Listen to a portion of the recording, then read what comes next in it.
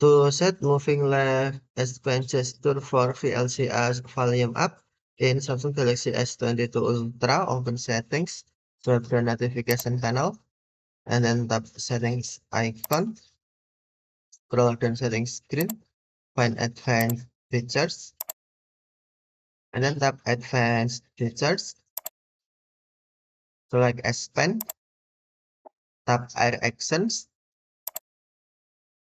scroll down the screen, tap VLC. Next, tap moving left S Pen gesture icon menu. Select volume up. Now, moving left S Pen gesture for VLC set as volume up.